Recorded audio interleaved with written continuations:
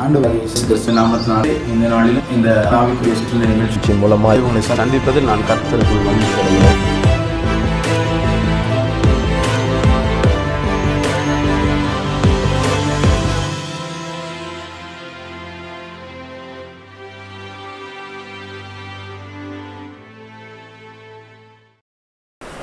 ஆண்டவராக இயேசு கிறிஸ்துவின் நாமத்தினாலே இந்த மாதத்தின் முதலாம் நாளிலே ஓய்வு நாளிலே இந்த காலை வேளையிலே உங்கள் ஒவ்வொருவரை சந்திப்பது நான் கர்த்தருக்குள் மகிழ்ச்சி அடைகிறேன். ஆண்டவருடைய நாமம் நம் மூலமாக இந்த நாளிலே மகிமை அடைவதாக. இந்த நாளிலும் ஆண்டவர் இந்த மாதத்திற்காக நமக்கு கொடுக்கிற வாக்குத்தத்தத்தை நாம் இன்று இந்த ஆவிக்குரிய சுற்றுலையும் தியானிக்க போகிறோம். இன்று ஞாயிறு ஆராதனையிலும் தியானிக்க போகிறோம். கர்த்தர் நம்மோடு கூட பேசுவாராக. முதலாம் நாளிலேயே அவருடைய ஆலயத்திற்கு போய் அவரை ஆராதிப்பது எவ்வளவு பெரிய பாக்கியமாகவே நீங்கள் குடும்பமாக கடந்து போய் அவரை ஆராதித்து ஆண்டவருடைய பந்தியிலே கர்த்தருடைய பந்தியிலே பங்கு பெற்று குடும்பமாக கடந்து வாருங்கள். நிச்சயமாக இந்த மாதம் உங்களுக்கு ஆசீர்வாதமான மாதமாக இருக்கும். இந்த நாளிலும் தேவன் நமக்கு கொடுக்கிறதான வாக்குத்தத்தம் நியாயாதிபதிகள் ஆறாம் அதிகாரம் பனிரெண்டாம் வசனம். மன்னிக்கவும். கர்த்தருடைய தூதனானவர் அவனுக்கு தரிசனமாகி பராக்கிரமசாலியே கர்த்தர் உன்னோடே இருக்கிறார் என்றார்.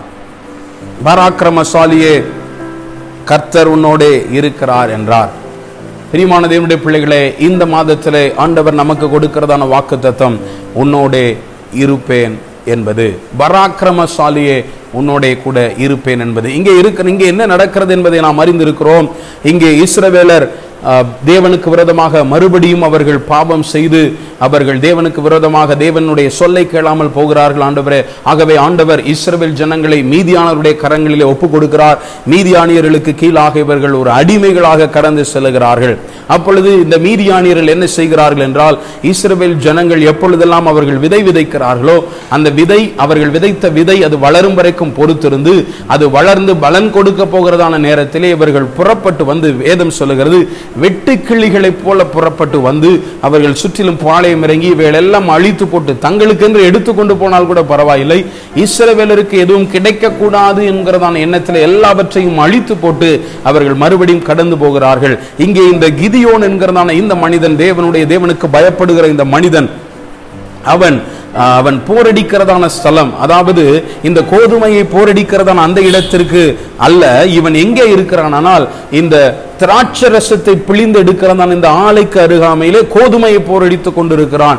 காரணம் என்னவென்றால் சுற்றிலும் எதிரான ஜனங்கள் நடக்க வேண்டியதான காரியம் நடக்க வேண்டியதான இடத்திலே சரியான இடத்திலே செய்ய முடியாத ஒரு காரியம் ஒரு மறைமுகமாக ஒரு காரியத்தை ஒரு ஆசீர்வாதத்தை குறித்த காரியத்தை செய்ய வேண்டியதான சூழ்நிலையில் இருக்கிறான். அப்பொழுதுதான் ஆண்டவர் அவனை பார்த்து சொல்லுகிறார் பராக்கிரமசாலியே கர்த்தர் உன்னோடே இருக்கிறார்.